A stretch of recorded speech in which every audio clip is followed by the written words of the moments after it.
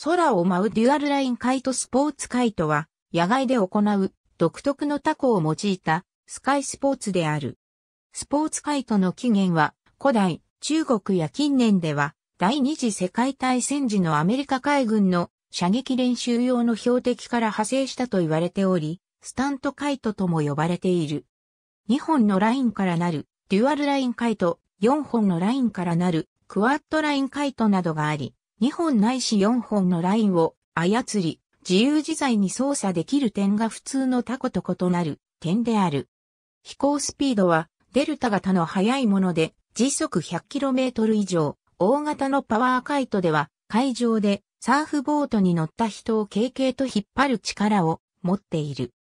長尾風用から強風用まであらゆるウィンドレンジに対応したタイプのものが市販されており、素材のセールはパラグライダーなどでも使われているリップストップナイロン、ロッドはカーボンファイバーなどが使用され軽量化が図られている。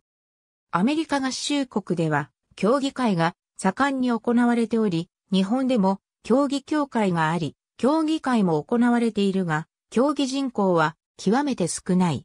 競技会ではソロ、ペア、チームなどで音楽に合わせ操作を行い、採点により順位が決定される。ありがとうございます。